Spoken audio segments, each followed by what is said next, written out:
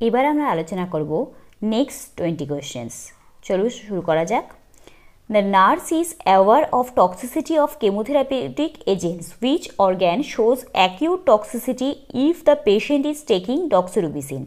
doxorubicin নেওয়ার পর পেশেন্টের সাধারণত অ্যাকিউট টক্সিসিটি কোথায় হয়? অপশান এ আছে হার্ট লাংস লিভার আর কিডনি আমরা জানি ডক্সু ডক্সোরুবিসিন নেওয়ার ফলে এমনি জেনারেলি যদি কোনো পেশেন্টের কেমোথেরাপি ড্রাগের জন্য অ্যাকশন হয়, সেক্ষেত্রে লিভার বা কিডনি ভাবতে পারি। বাট ডক্সোরুবিসিনের ক্ষেত্রে কার্ডিওমায়োপ্যাথি হয়। এক্ষেত্রে সাইটোপ্লাজমিক ভ্যাকুলেশন হয় আর ইন্টারাপশন অফ মায়োফাইব্রিলস হয়। তাই এক্ষেত্রে কার্ডিওমায়োপ্যাথি হয়।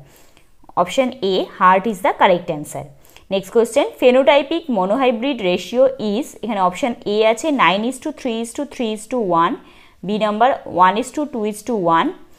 C number three is to one R D number two is to one এক্ষেত্রে option C three is to one is the correct answer আমরা জানি মেন্ডেলের যে ফেনোটাইপিক রেশিও ছিল মনোহাইব্রিডের সেক্ষেত্রে ফেনোটাইপ ফেনোটাইপের ক্ষেত্রে থ্রি ইস টু ওয়ান আর জিনোটাইপের ক্ষেত্রে one is to two is to one ছিল।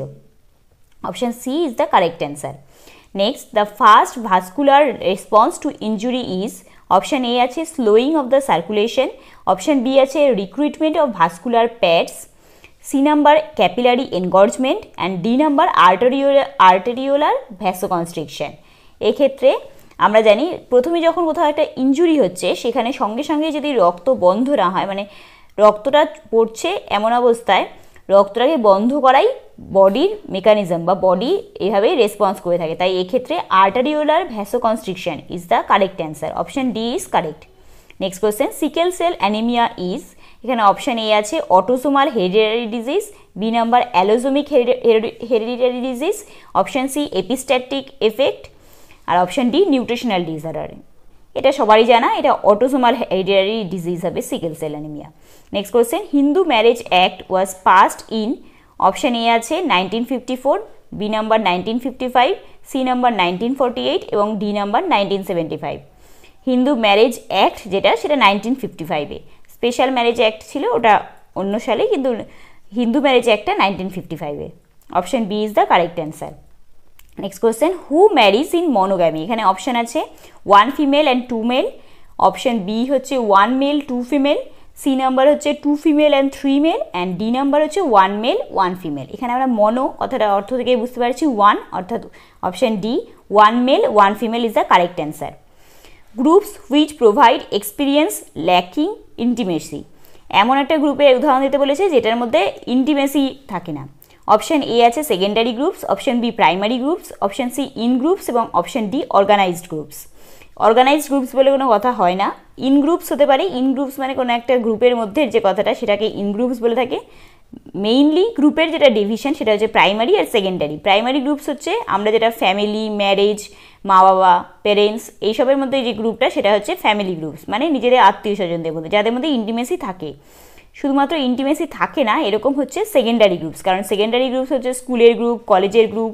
কলিগস এদের মধ্যে কোনো ইন্টিমেসি থাকে না। Option B sorry option A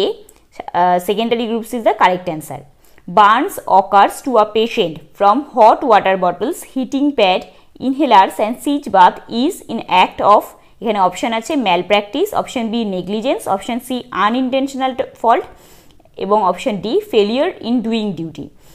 malpractice হবে না, কারণ এখানে কোনো প্র্যাকটিসে ভুল ছিল না। নেগলিজেন্স হবে না, কারণ হিটিং প্যাড বা ওয়াটার বটল এইসব প্রোভাইড করার সময় যে সতর্কতাগুলো প্রোভাইড করা দরকার, সেগুলো সবাই প্রোভাইড করে থাকে। শুধুমাত্র বার্ন হতে পারে যদি পেশেন্টের হাতে কোনো বাই মিস্টেক পেশেন্টের হাত থেকে হিটিং প্যাডের বটল খুলে যায়, কিংবা ইনহেলার বা সিজবাতের সময় পেশেন্টের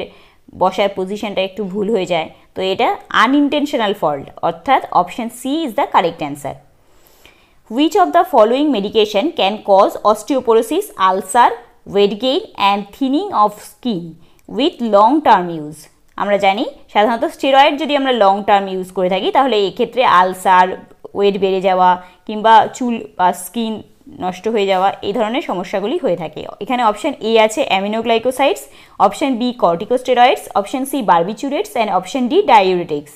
এক্ষেত্রে option B corticosteroids is the correct answer next question which of the following is best describes parallel play between two toddlers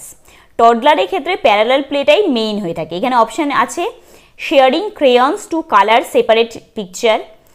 B number playing a board game with another child option C আছে sitting near each other while playing with separate dolls option D আছে sharing their dolls with two different nurses generally টডলাররা চায় তার বন্ধু যেমন করে খেলছে, সেও সেরকম করেই খেলবে।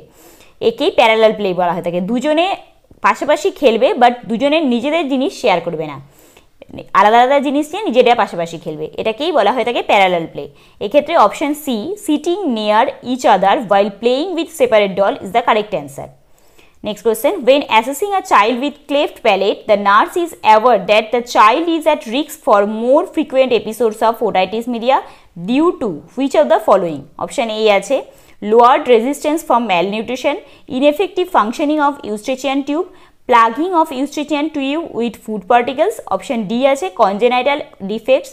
of middle ear যেহেতু ক্লেফট প্যালেট হচ্ছে এক্ষেত্রে অপশন বি আর সি দুটোই হতে পারে plugging of Eustachian tube with food particles R ineffective functioning of Eustachian tube তবে plugging of Eustachian tube with food particles এটা হওয়ার সম্ভাবনা একটু কম কারণ এক্ষেত্রে ক্লেফট প্যালেট থাকলেও ক্লেফট প্যালেট থাকলেও খাবার খাওয়ার সময় শুধুমাত্র যে খাবার ঢুকে যাবে এরকম না, আরও অন্যান্য ধরনের সমস্যাও হয়ে থাকে। তাই এক্ষেত্রে option B ineffective functioning of eustachian tube is the correct answer next question a mother would like to know what a good activity is for a child with autism the best response would be of which of the following এখানে আছে loud music option B আছে various playmates option C আছে self stimulating activities এবং option D আছে small group activities সাধারণত অটিজমের বাচ্চারা loud music সহ্য করতে পারে না। কোনো অন্য অন্য বাচ্চাদের সাথে খেলা বা বন্ধুদের সাথে কথা বলা তারা পারে না। সেলফ স্টিমুলেটিং অ্যাক্টিভিটিস তারা করতে পারে না কারণ পাছে লোকে তাদেরকে দেখে কোনো কথা বলে, এই জন্য তারা লজ্জা পায়। শুধুমাত্র যদি তাদেরকে নিজেদের মধ্যে ছোট ছোট গ্রুপ বানিয়ে তাদের মতো সেম সেম মানুষের সাথে রাখা হয় তবেই তারা নিজেদেরকে ওপেন করতে পারে। তাই এক্ষেত্রে option D small group activity is the correct answer which of the uh, which kind of treatment is needed for a child with pink classification according to the IMNCI pink green and yellow তিনটে division হয় IMNCI তো generally আমরা সবাই জানি যে pink কালারটা হচ্ছে urgent কথাটা মিনিং করে। বা রেড পিঙ্ক এগুলো জেনারেলি আর্জেন্ট কথাটাই মিনিং করে। এখানে অপশন এ আছে home remedy option B out service out patient service option C urgent referral এবং অপশন ডি ওপিডি ট্রিটমেন্ট তো option C urgent referral is the correct answer true about fetal circulation blood in S SBC has more oxygen saturation pressure in Lev ventricle is more brain receives blood with low oxygen saturation and heart receives blood with high রিসি high oxygen saturation blood in SVC has more oxygen saturation এটা correct হবে না, কারণ inferior vena কাভাতে বেশি oxygen saturation থাকে। Pressure in left ventricle is more এটাও হবে না, কারণ রাইট ভেন্ট্রিক্যাল বা রাইট সাইডের দিকে বেশি প্রেশার থাকে। Option C brain receives with low oxygen saturation এটাও হবে না, কারণ ব্রেন আর হার্ট দুটো মেইন অর্গ্যান যাদেরকে ফিটাল সার্কুলেশনে বেশি অক্সিজেন দেওয়া হয়ে থাকে লেদার দেন লাংস লাংসে কম অক্সিজেন স্যাচুরেশন থাকে। পরবর্তীকালে যখন ফিটাল ফিটাস থেকে এটি বাইরে আসে, তখন লাঙের স্যাচুরেশন বাড়তে থাকে। তার আগে লাঙের স্যাচুরেশন কমতে থাকে, কমানোই থাকে। তাই ক্ষেত্রে option B heart receives blood with high oxygen saturation is the correct answer next the process of mouldings and shaping the personality of human being in infant is called option A আছে individualisation option B socialisation option C shaping and option D humanisation সোশ্যালাইজেশনের ডেফিনেশনই ছিল এটা, তাই এক্ষেত্রে আর আমি এটা explain করছি না। Option B socialisation is the correct answer next question the development of self is closely associated with internalisation of norms analysis of culture categorisation of values and rejection of bad habits এখানে option A internalisation of norms কারণ categorisation of values কিংবা analysis of culture আর rejection of bad habits এগুলো হতে পারে নিজের ডেভেলপমেন্টের জন্য কারেক্ট বাট সেলফ ডেভেলপমেন্টের জন্য নর্মস শেখা বা সমাজের সাথে কি করে আমরা নিজেকে মানিয়ে নেব এই জিনিসগুলো শেখাই হচ্ছে development of self is the more accurate so option A is the correct answer Next question, which of the following is best indicator of long term nutritional status? Long term nutritional status জন্য option A আছে medium circumference option B height for age option C weight for age R option D হচ্ছে weight for height এক্ষেত্রে option B height for age is the correct answer of height in first year is option A twenty five centimetre option B fifty centimetre option C seventy five centimetre and option D hundred centimetre এটা আমরা সকলেই জানি seventy five centimetre হবে। Trisomy thirteen seen in Edward syndrome Patau syndrome Down syndrome and Turner syndrome trisomy thirteen হচ্ছে Patau সিন্ড্রোমে হবে। Eighteen হলে সেটা এডওয়ার্ড সিন্ড্রোম হতো। Next question while a patient with ascites is receiving albumin the planned therapeutic effect will be greater if the nurse regulates the infusion to flow slowly and restricts fluid intake rapidly with withholds fluid intake rapidly and engorges fluid intake and slowly and encourages liberal fluid intake যেহেতু albumin দেওয়া হচ্ছে পেশেন্টটার সেজন্য osmolarity maintain করার জন্য তাকে অ্যালবুমিনটাকে slowly দিতে হবে এবং ফ্লুইড ইনটেকটাকে রেস্ট্রিক্ট তাহলেই সেটা সেলের মধ্যে অ্যালবুমিনটাকে ঢুকতে পারবে। এই জন্য option A slowly and restricts fluid intake is the correct answer এটা দিয়ে সরে এসেছিল আমাদের নেক্সট টোয়েন্টি কোয়েশ্চেন্স বাকি কোয়েশ্চেনগুলো দেখার জন্য অবশ্যই আমাদের চ্যানেলে নজর রাখুন। যদি এখনও সাবস্ক্রাইব না করে থাকেন, তাহলে অবশ্যই সাবস্ক্রাইব করে নিন, যাতে পরবর্তী নোটিফিকেশানটা আপনাদের কাছে যায়। ভুলে যাবেন না একদমই পাশের বেল আইকনটা টিপে দিতে। টিপে দিন। আমাদের ভিডিও ভালো লাগলে অবশ্যই লাইক করুন এবং আপনাদের বন্ধুদের মধ্যে শেয়ার করুন।